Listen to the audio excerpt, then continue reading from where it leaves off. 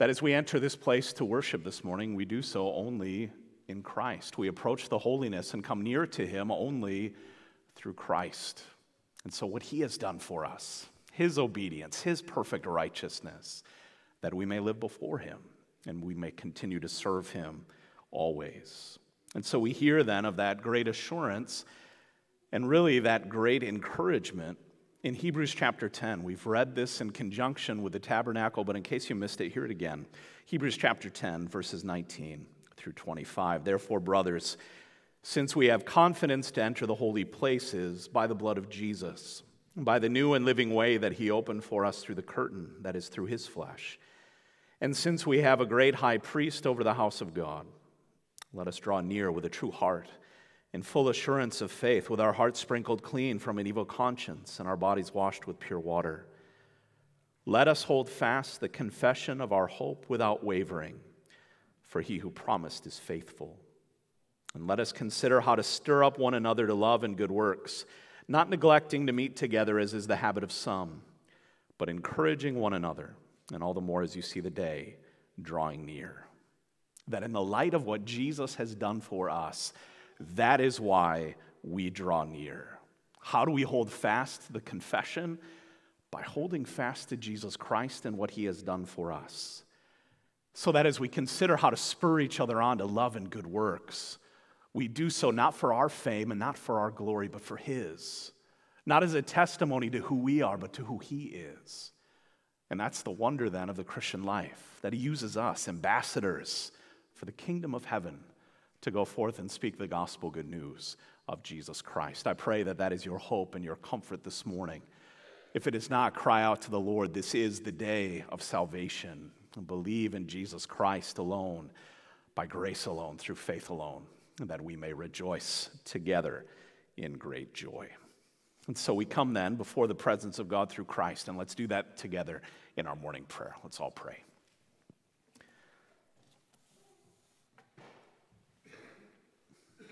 Our Lord and Heavenly Father, there is indeed great wonder and blessing in being drawn near to you today. And Father, that's true every week. It's true every time that you call us to pray. It's true every moment of every day as you walk with us, as you fill us and you build us together a church, a dwelling place for you by your Spirit. And Father, we pray that that is not lost on us. The wonder of what we do here, the wonder of your meeting us here, the wonder of that grace. Father, help us not to take it for granted. But Father, also, might you give to us a wonder of the fact that you're doing a work of calling a people to yourself, that you're gathering in a harvest. And Father, we think a lot of the harvest right now. As the tractors drive around, as the combines do their work, Father, as the, the grain bins are towed here and there. Father, we are mindful. Our farmers among us, they see it. They see it each and every day. The joy of of the wonder of serving you, of the wonder of, of seeing a bounty that you give, that you give just what you will in the best way that it may be brought in. And Father, we see it in bins, Lord. You provide. And so, Father, as we think of these things and we rejoice in it, praying for our farmers that you would continue to care for them and uphold them. Father, we think of our calling in Jesus Christ. That Father, your Son, told the apostles to, to lift up their eyes and to look, that the fields were white with harvest. That even in this harvest time, Father, we pray, help us to see the promise of Christ. That as the fields are white with harvest, Father, so is this world. That in the seeds that you have planted by your word, there are those that are called to come in, to be gathered in to your house among your people. But Father, it's easy, whether in the throes of that harvest work or just in life in general, to think too little of that promise. Perhaps not even to think of it at all.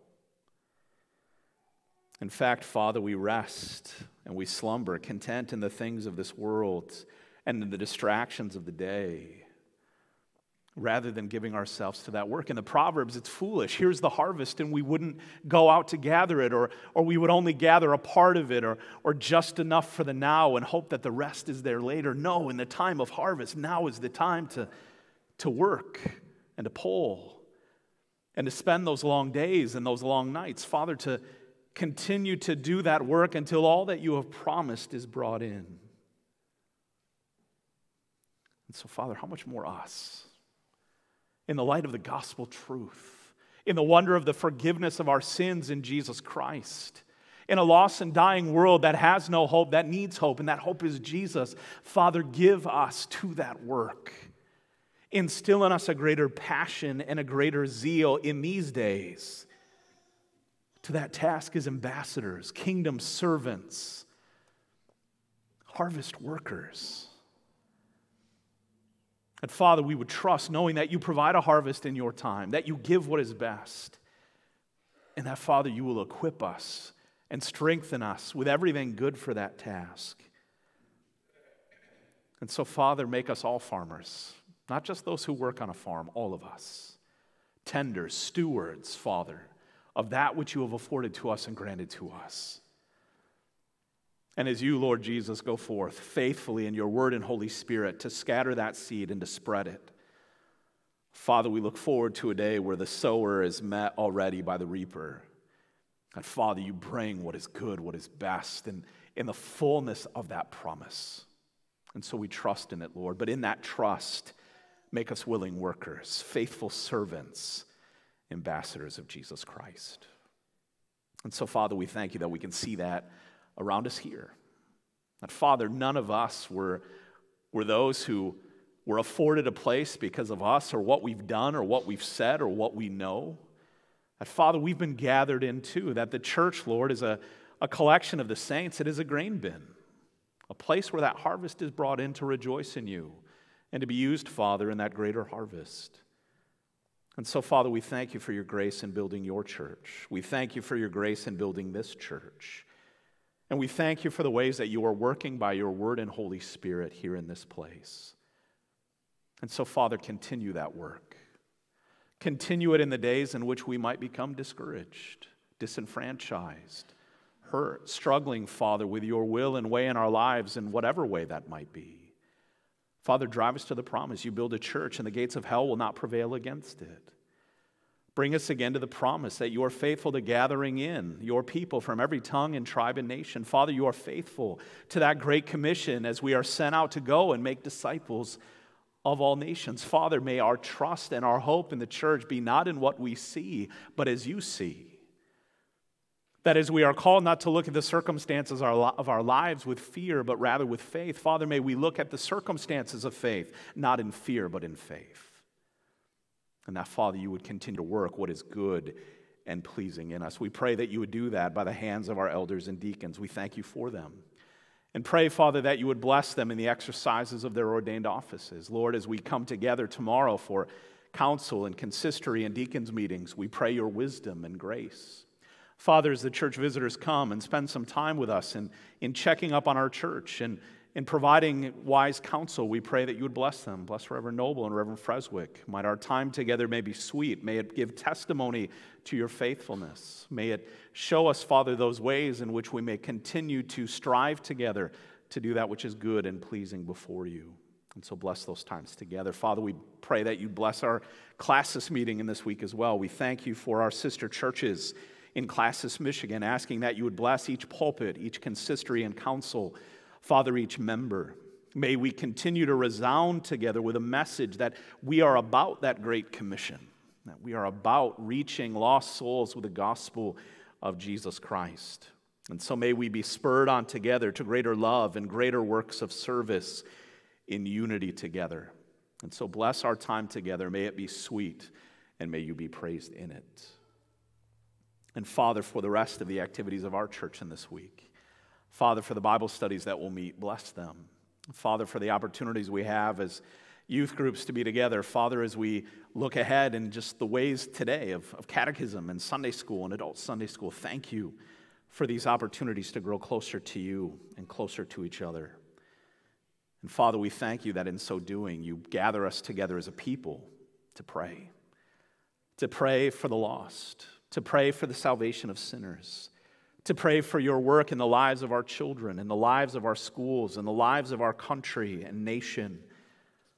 Father, in the lives of each other, for those who hurt and struggle and suffer with various things, mental or physical or spiritual. Be near unto them. Father, we think especially of those that will have surgery this week. We pray for Kerry Camps, asking that you will be with him in his hip replacement. Lord, might you grant relief to him and comfort. Keep him from infection, keep him from unnecessary pain. And bless he and Lois together as they seek to walk through this now and again in a few months more. And so bless them and uphold them. Father, we also pray that you would bless Dr. Bill. Lord, we've prayed for him much and often. We continue to do so. We thank you, Father, for a, a plan forward for surgery to take place. And yet, Lord, we know it is with much risk. All surgery is that way. And so, Father, we pray that you would bless our brother with assurance, a calm trust in you and in your word. That, Father, you will bless his family as they surround him in encouragement and prayer as well. And so, Father, we know your will will be done. It always is. But we pray, Father, that you would bless our brother and keep him always. And Father, we pray too for, for Elaine, Lord, in the news that she has received this week of a, of a positive cancer diagnosis, Lord, it is, it is a difficult providence. It is a hard one indeed. And yet, Father, we pray that through further tests, a, a way forward of treatment would be given, that surgery could take place, Father, that, that therapy in whatever way would take place and that it would be effective. And that, Father, in this time, Elaine would have quick voice ready to speak of your faithfulness, of your sustaining mercies, and your care for her and her family. And so bless, Father, this family together as they walk this road. We think the same of John and Sandy, Lord continue to uphold our brother as he becomes more weak, Father, in those ways that he's not even able to communicate in the way that he would like to each and every time we see him. Father, we know that he holds on to your word, that if nothing else, he is able to give a confident yes to the gospel promise of Jesus Christ. And so, Father, continue to bless this couple together with, with peace that passes all understanding, that you would guard them together. And Father, for for Cal and Jane, we pray that you would be near unto them as they worship with us via live stream, Lord. We miss them, we love them, we care for them. And Father, we pray that they would know your nearness and your peace in this day of worship as well. Father, bless Cheryl. We think of Luke as he cares for her. And, and Father, in that time of recovery, we are thankful for the improvement that you have given. And yet, Father, we pray that you would work mightily in Cheryl. That, Lord, you would continue to drive her to your word, that, that, Lord, you would work to heal her body, that you would heal her mind, that you would grant her a willing spirit to sustain her, and that, Lord, you would help them to rejoice together in your steadfast love. And so bless Luke, give him what he stands in need of as well to be a faithful minister of Christ. Bless Ryan, Lord, in his continued fight against pain and, and just the discomfort, Lord, that comes along with it. We ask that you would bless Ryan and Carla, to care for them. And Father, again, we pray for our littles. We think of Avery and, and Jade. We think of Ted and Thea as they pray for their grandson Desmond. Lord, we, we don't stop. We don't stop praying for any of them. That, Lord, how little they are, Lord, the, the illnesses and viruses that float about, Father, spare them, keep them. May growth continue to take place, and may parents be comforted in the truth of Jesus Christ. We think that especially for Ted and Thea's children, Lord, drive them to Christ. Give them a hope in the gospel, and may this be the day of salvation for them as well. And so, Father, in all of these things, we have much to pray about. We have much to rejoice in. We think of those who have had children married in this past week. Lord, bless them. Establish those homes, not just in an institution, but, Father, in a covenant in Christ. And so, Lord, we pray, might you continue to uphold them together as well. And so, Lord, we we come before you knowing that we need to pray without ceasing, to give thanks in all circumstances, for this is your will. And so, Father, as we close this time of prayer, may we not stop. Not stop praying for you and your will, not stop praying for that harvest, because, Father, when it's gathered and it's all brought in, your Son will come again on the clouds to take us to himself. And so, Lord, give us a greater longing, a greater passion for that in the promise of Jesus Christ. And we ask all these things in his name. Amen. Let's sing together as we prepare our hearts to receive that word number 419 in the Psalter hymnal. 419, Thus saith the mercy of the Lord. Let's stand to sing all the stanzas, 419.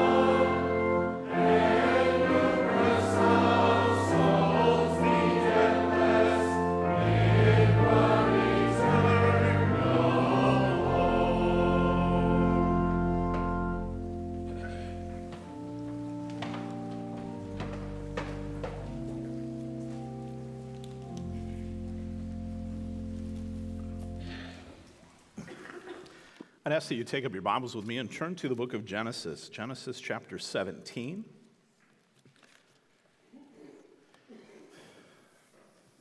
Genesis 17, where we come to the familiar passage in terms of God's promise, as well as that sign that He gives to His people of circumcision, which may on the surface seem somewhat strange. Why are we talking about circumcision when in the Catechism we are talking about baptism? And yet at the end of the Lord's Day that we'll recite together, there is that sense of circumcision in the Old Testament has been replaced in the New Testament by baptism. And so we want to hold that before us this morning as context for an understanding of that which is promised to us. And so we're going to read these words together Genesis 17. We'll read the entire chapter, and then we'll take for our text the first 14 verses this morning before turning over to Lord's Day 27. Hear now the word of the Lord. Genesis 17, verse 1 When Abram was 99 years old, the Lord appeared to Abram and said to him, I am God Almighty. Walk before me and be blameless, that I may make my covenant between me and you and may multiply you greatly. Then Abram fell on his face, and God said to him, Behold, my covenant is with you, and you shall be the father of a multitude of nations. No longer shall your name be called Abram, but your name shall be Abraham, for I have made you the father of a multitude of nations. I will make you exceedingly fruitful, and I will make you into nations, and kings shall come from you. And I will establish my covenant between me and you and your offspring after you throughout their generations for an everlasting covenant, to be a God to you and your offspring after you. And I will give to you and to your offspring after you the land of your sojournings, all the land of Canaan for an everlasting possession, and I will be their God. And God said to Abraham, As for you, you shall keep my covenant, you and your offspring after you throughout their generations. This is my covenant which you shall keep between me and you and your offspring after you. Every male among you shall be circumcised. You shall be circumcised in the flesh of your foreskins, and it shall be a sign of the covenant between me and you. He who is eight days old among you shall be circumcised. Every male throughout your generations, whether born in your house or bought with your money from any foreigner who is not of your offspring, both he who is born in your house and he who is bought with your money shall surely be circumcised. So shall my covenant be in your flesh, an everlasting covenant. Any uncircumcised male who is not circumcised in the flesh of his foreskin shall be cut off from his people. He has broken my covenant. And God said to Abraham, As for Sarai, your wife, you shall not call her name Sarai, but Sarah shall be her name. I will bless her, and moreover, I will give you a son by her. I will bless her, and she shall become nations. Kings of people shall come from her. Then Abraham fell on his face and laughed and said to himself, Shall a child be born to a man who is a hundred years old? Shall Sarah, who is ninety years old, bear a child? And Abraham said to God, Oh, that Ishmael might live before you. God said, No, but Sarah, your wife, shall bear you a son, and you shall call his name Isaac.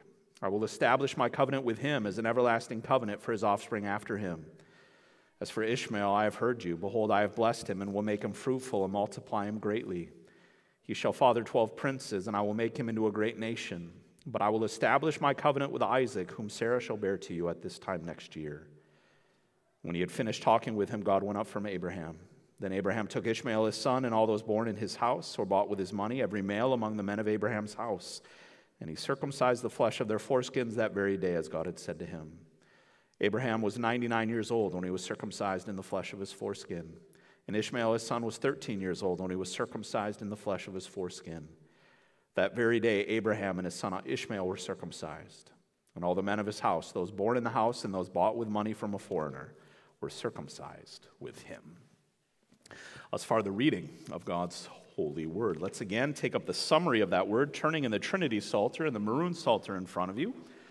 Turning there to page 884. 884 in the back pages of that hymnal.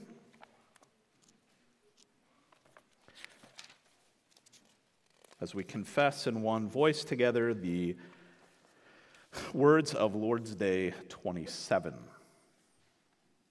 And so let's speak these together. I'll read the questions and then we'll respond with the answers. Question 72 asks Does this outward washing with water itself wash away sins? We answer No.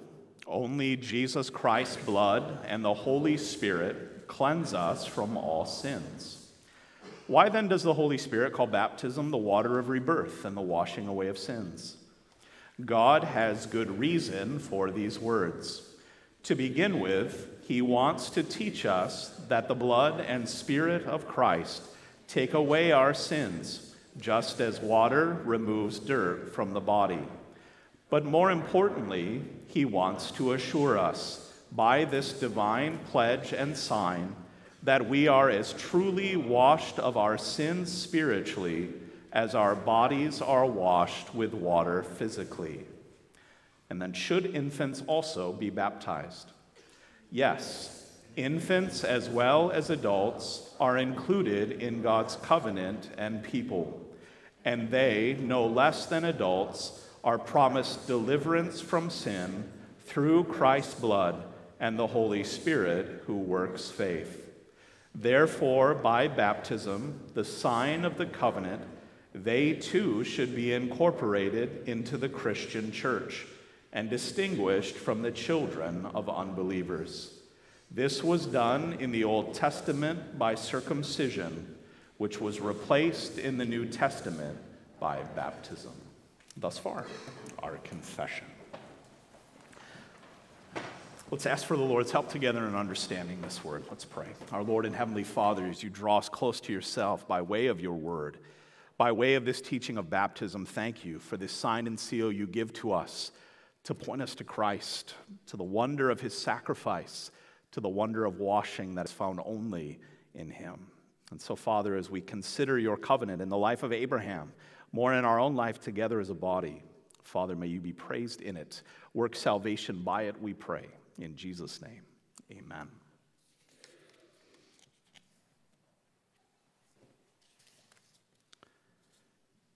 Congregation, beloved of our Lord and Savior Jesus Christ, sometimes it seems that when we speak of infant baptism together, we're in a way disappointed. And we're disappointed in the fact that the Lord has only given a promise and not a reality. Think about that just for a moment. Disappointment in a promise because we haven't been given a reality. And those thoughts in the life of the church have led people into either a desire to teach an unbiblical baptismal regeneration, saying that in the thing they have it. As a child is baptized, he has salvation. It is contrary to the scriptures. Or in a, the other direction, they abandon the biblical teaching of infant baptism altogether. But that's puzzling to me. And it should be to you as well, simply in thinking about the fact that there are all sorts of times in our lives that we are just perfectly fine to accept promises instead of realities. When you loan someone money, you give out a promissory note. This person has promised that they will pay back the money that I have loaned. But you don't have the money. You have a promise, but not a reality. Kids, when you receive a gift card for Christmas or your birthday, you don't have a reality, you have a promise. You don't hold that plastic card and say, Thank you for this ginormous Nerf blaster that I just got from you, Mom. No, you have a piece of paper, you have a card, you have a promise, but not a reality. It's not much on its own, is it? But it holds the power of that promise. For when you walk into the store, you will enjoy all the Nerf gun benefits and value of that promise. Think about that in terms then of the sacrament of baptism. That what you receive there is no less powerful. You have a promise. What one receives at the font is a promise. The Lord promises his people the washing away of all their sins in repentance and faith in Jesus Christ. And when given faith to believe by God, we surely have what is promised. For the one who gives is always faithful. And therefore, we should not look down or allow others to look down on that which has been given to us in the sign and seal but rather we should be quickened and ready to heed the call to believe it, to receive all of the benefits of that promise in Jesus Christ. And that's really the power of the promise made then in Genesis 17 as well. And yet we've received a better one. Ours is a better promise, a more powerful one through a Savior who delivers it all to us. We see this theme this morning. In baptism, we receive a powerful promise of the deliverance from sin. And we want to look then at that promise being an inheritance. It'll be a key word this morning. And so we have an inheritance in the promise in verses 1 through 8. We are given instruction in the promise in verses 9 through 13. And then we see the inclusion in that promise in verses 13b and 14 that in baptism we receive a powerful promise of the deliverance from sin. And it's a sure promise. And that first point this morning, this is a sure promise, but it's not a sure reality. Again, that's the struggle. And that struggle, certainly in our hearts, is a real one. In fact, in the examples that I just gave, some of you might look at those things. A promissory note or a gift card as sure things. Here's the value that they express. But there's no guarantee that someone will pay you back. The promise is only as good as the one who makes it. You may have a gift card, but you might not spend every amount that's on that card. You have a promise, but you haven't received all of it. But you have a promise nonetheless.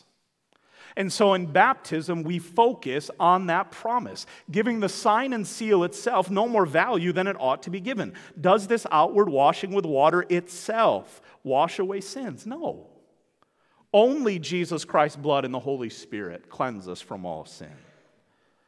So, in the sacrament, you are not given a now reality. Let us never believe such an awful, unbiblical superstition. But rather, you have the promise of an inheritance. Again, that term is important because no one in and of themselves has the power to bring about the promise of an inheritance. Only an Almighty God does. Only He can give what is promised. And that reality is seen in the life of Abram. If your Bibles are open, look again, verse 1. When Abram was 99 years old, the Lord appeared to Abram and said to him, I am God Almighty. Walk before me and be blameless, that I may make my covenant between me and you and may multiply you greatly. The Lord takes time to, to reintroduce himself to Abram. I am. I am the I am. I am almighty. I am all powerful. I am able to bring anything that I promise into existence. I make my will reality. And so the Lord sets Abram apart unto himself by way of the promise. Yes, it is made a reality by faith, but nonetheless, what he has granted in the sign, even as we will look at it, is a promise. And it is a promise, certainly, that is not about Abram's doing. No, he sets him apart not because of his works, he sets him apart so that God might keep his promises in him and in his offspring. That even Abram, in being called to walk with God, walks it how? In a promise.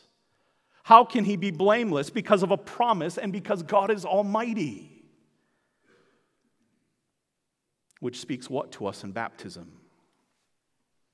that this promise that is given is graciously and amazingly awesome. It is a great wonder, but one that we can do nothing in our power to bring about. We can't bring that note to someone else and say, Give it to us. No.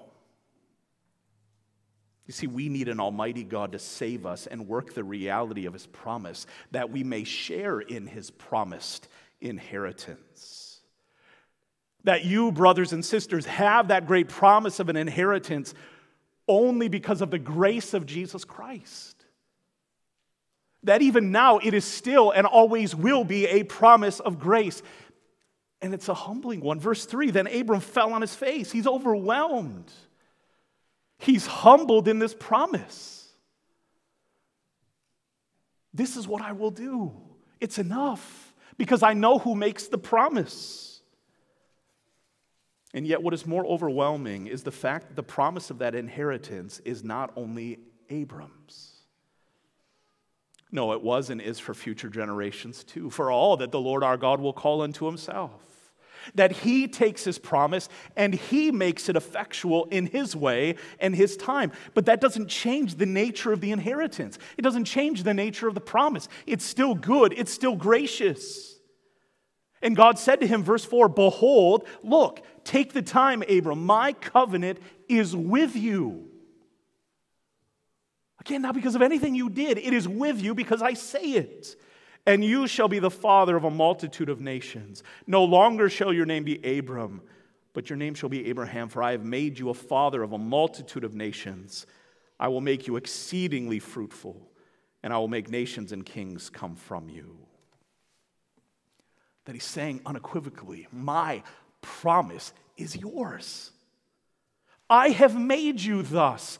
I will make you thus. You man, good as dead, 99 years old, I will do it. I can bring life from death. I can bring joy from sorrow. I can work restoration. That this promise that is His to give is also that which He is mighty to fulfill.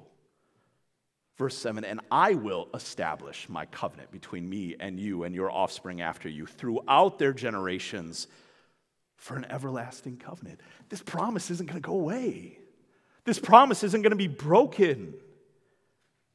To be a God to you and your offspring after you. Hear it clearly the promise of that inheritance was an everlasting one for those who are truly of Abraham. It's the shift that happens in the New Testament, right? Not all Abraham are Abraham. Not all church is church. Not all baptized are baptized. You see, it was a word of future promise, it was a word of future grace. And it's striking because in Abraham's life right now, what does he have? He has Ishmael. We hear that and is crying out to the Lord be with him. No, it's not my way. Abraham right now has nothing no son, no line of promise. And so Abraham is given promises before any of those children, any of those generations are born. That's how the Lord works. Before the foundations of a world, I make a plan and I bring it about. He raises up children and people for himself, those that he elects and he calls, those he enters into covenant with, and he gives them a promised inheritance of future grace unto all those whom he will call to himself in repentance and faith. And what is that inheritance? Verse 8 I will give to you and your offspring after you the land of your sojourning, all the land of Canaan, for an everlasting possession, and the best part, I will be their God to be God to you. He will be their God. And why is that important? Because the one who makes the promise is faithful. This promise would come about not because of Abraham, certainly not because of Ishmael, not because of any of the natural children of Abraham, but the one who was of his seed in the work of a son, the king that the Lord God would send, our Savior Jesus Christ. He is the surety of an inheritance for us. In His work are we made children because He is the Son of a promise. He is almighty and strong to save. And so when we consider the promise of the font, when we hold on to that and we hold out that promise of a great inheritance for us in Christ, not only to each other, but also to our children, we do so in the promise of grace. And we do so as a testimony to the world before all of them as we seek to make disciples that there is grace to be found in the washing of Jesus Christ. Is that inheritance yours? Again, don't presume upon it. Children, we do it all the time. Is that promise yours? Well, I was baptized. It's not what I said. You've been given a promise. Is yours a reality? Only Jesus and his Spirit wash me from sin. Trust in then that now and future grace that can only be ours in Jesus Christ. Believe it and receive it, even as Abraham did, that he might know in the instruction of God what was promised. And that in second place, we come to instruction. And certainly that instruction is known throughout the whole covenant. It's known in the revelation of whom the main action of the covenant belongs. This is the Lord. I am. And yet, what the Lord does in graciously setting up a covenant is do what? He fulfills both sides of it. He gives to us then after that the task of keeping it. I've kept it, but now I call you to keep it.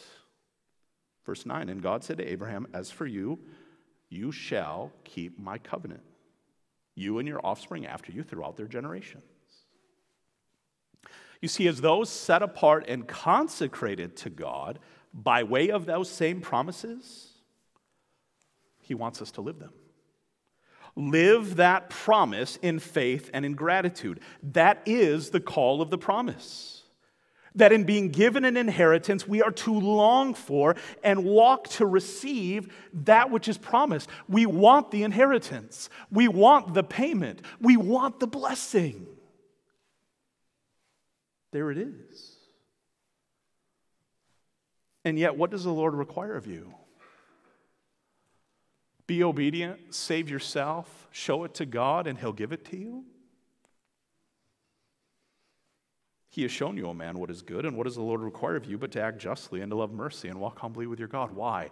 I have kept my promise for you. That's why.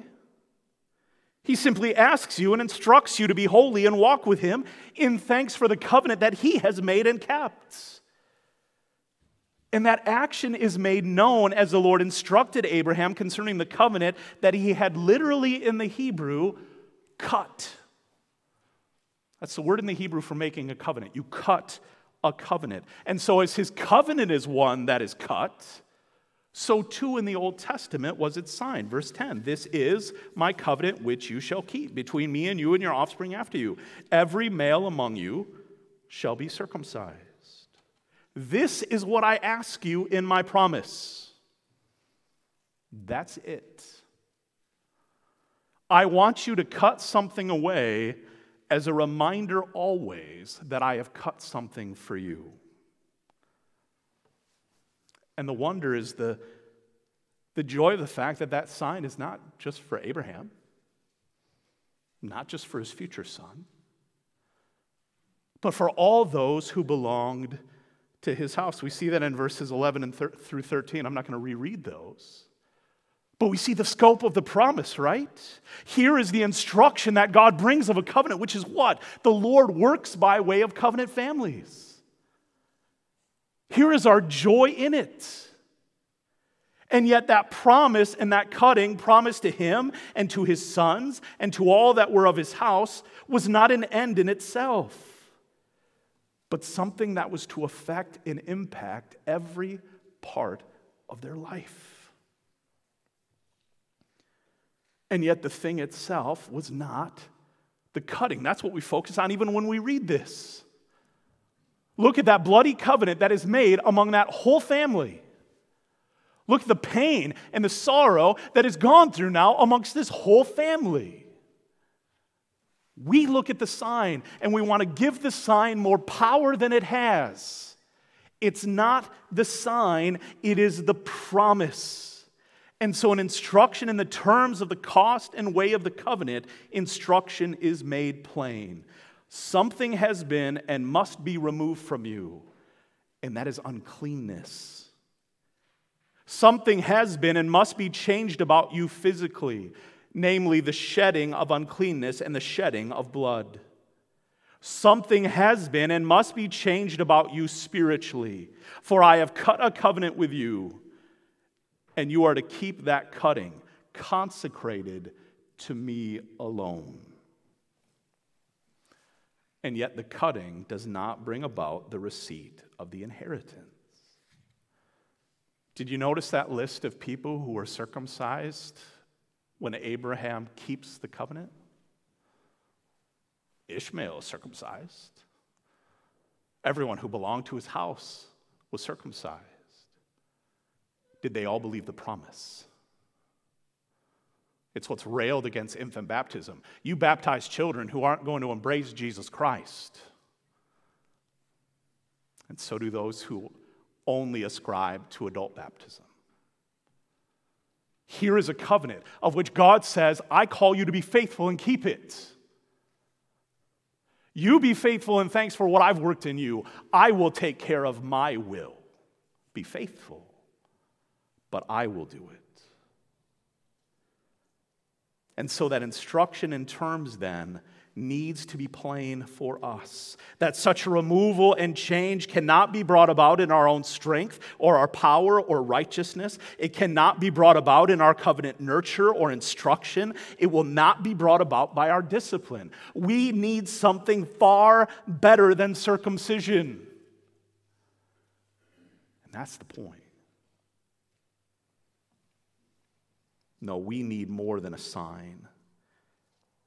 We need the Almighty God to work in us the grace and faith to bring about that covenant reality for us, impacting our life in every day, in every way, for the sake of Christ and His gospel good news. We need someone to come and take our uncleanness from us that we would be made clean, everlasting. We need the shedding of blood. Without the shedding of blood, there is no forgiveness.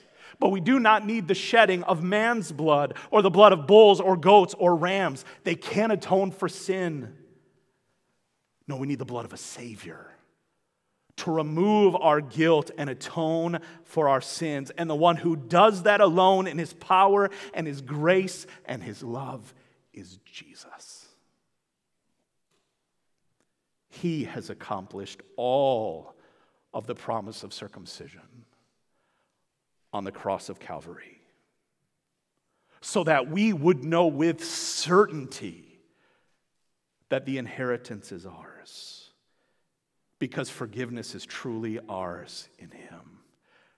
That if we are found in Christ, what is ours today, you will be with me in paradise. Not just a promise, but a reality. It's the truth Paul writes in Colossians 2. In him also you were circumcised with a circumcision made without hands, the putting off of the body of the flesh by the circumcision of Christ, having been buried with him in baptism, in which you were also raised with him through faith in the powerful working of God who raised him from the dead. Don't just have the promise of what his death has done, embrace the promise of what his life has promised you in him.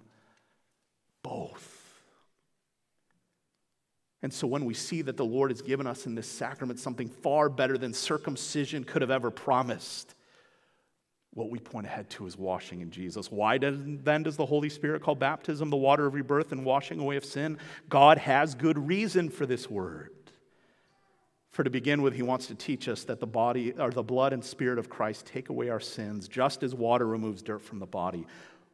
But more importantly, he wants to assure us by this divine pledge and sign that we are as truly washed of our sins spiritually as our bodies are washed with water physically. He gives us a sign of assurance. For when we embrace that sign, as we embrace that seal by faith, that assurance is ours. That covering is real. That washing is for us. That atonement is perfectly applied. That guilt is removed. That peace is attained.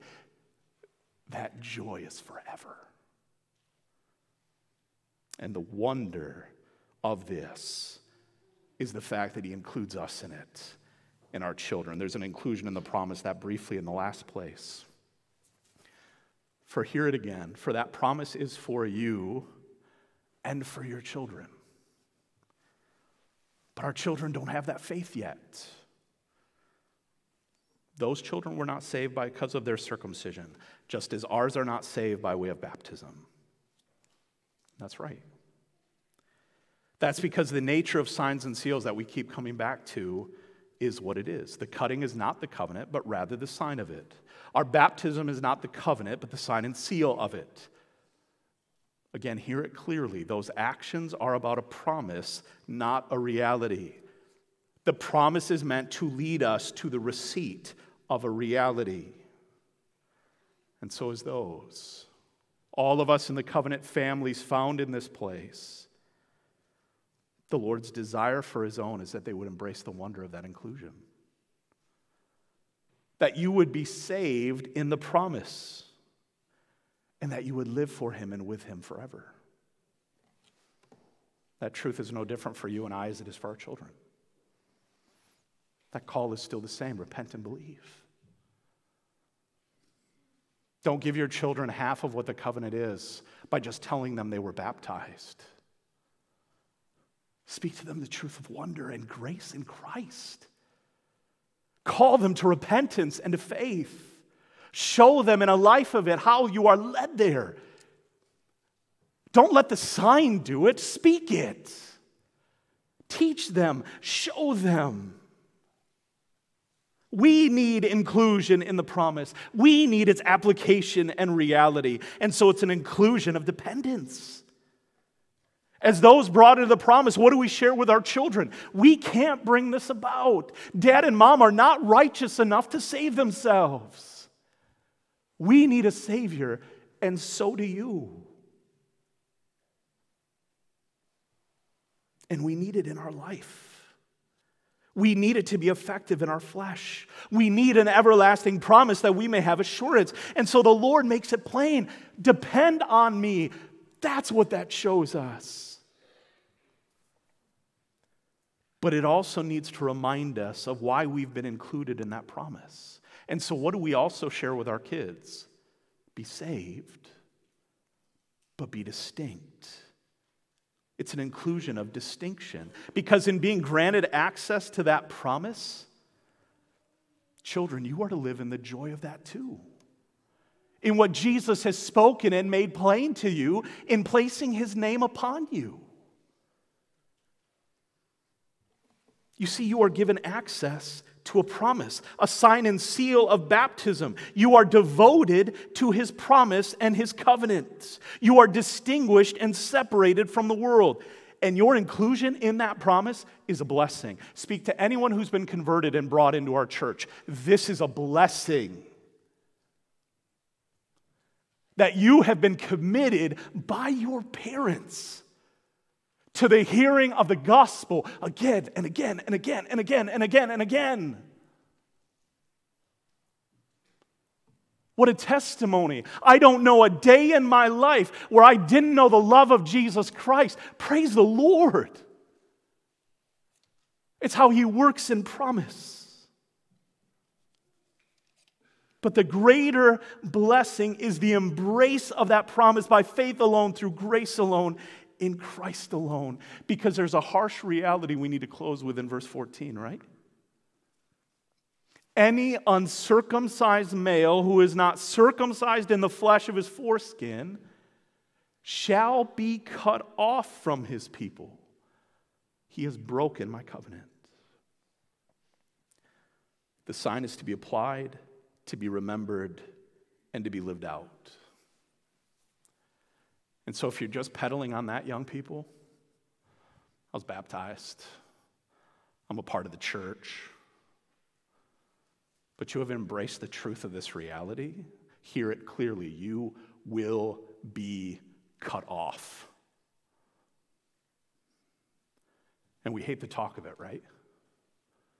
How could the elders do that to that man, that girl? How could they cut them off? How could they exclude them from the fellowship?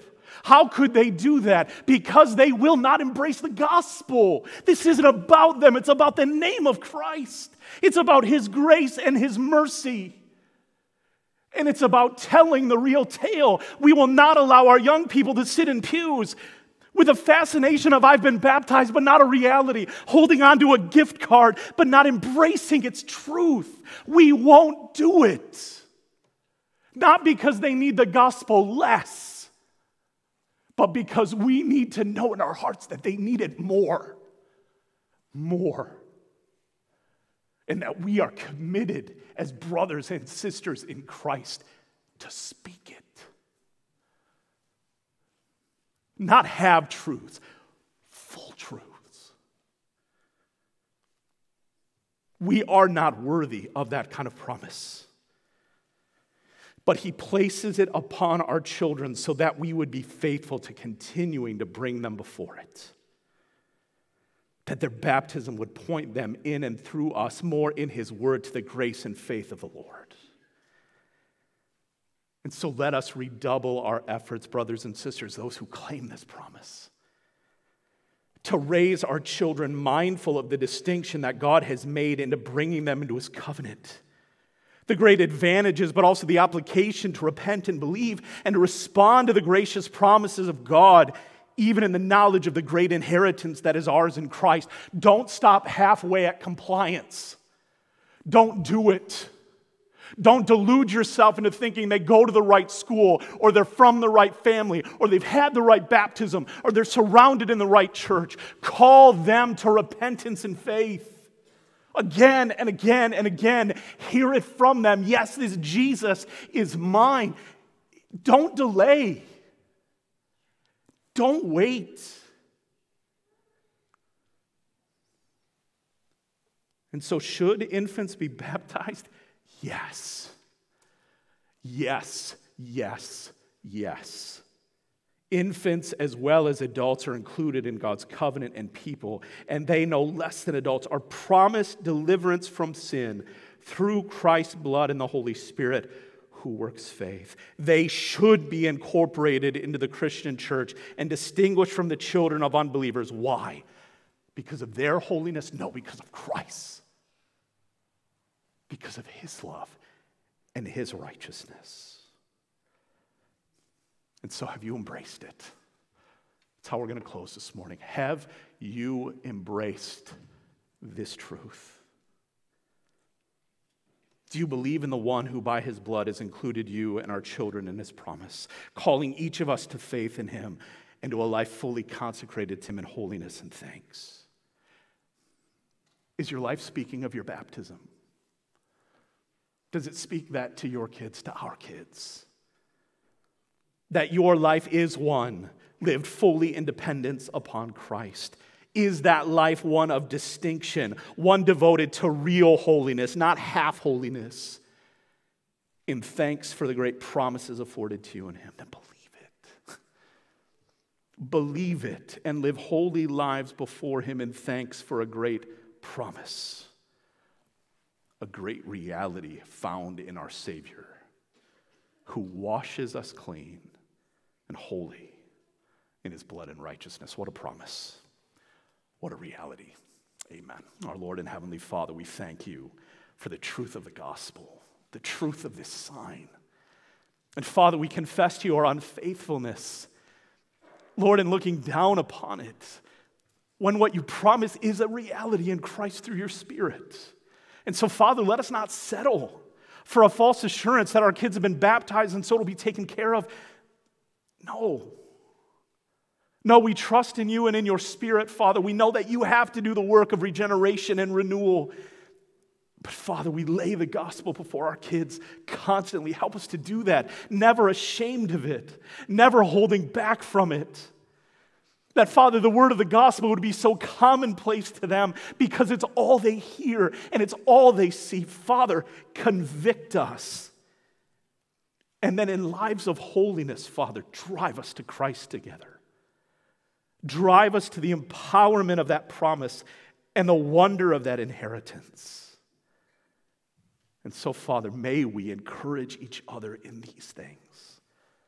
And all the more as we see the day of Christ approach. Father, use our baptisms for the glory of your name, we pray. In Jesus' name, amen. We'll have opportunity on our way this morning to give of our tithes and offerings. This morning, it will be for the general fund. Let's commit then this word and our gifts to the Lord from Psalter hymnal number 389. That reminder to us, not about our hands, it's about what God has done to bring us salvation. Number 389, let's stand to sing all the stanzas.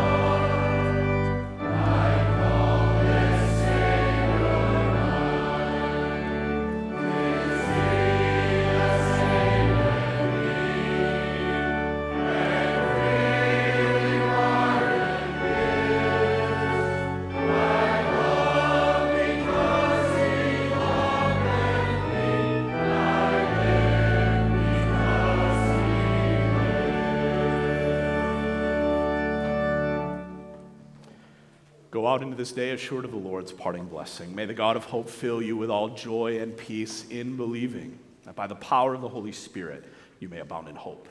Amen.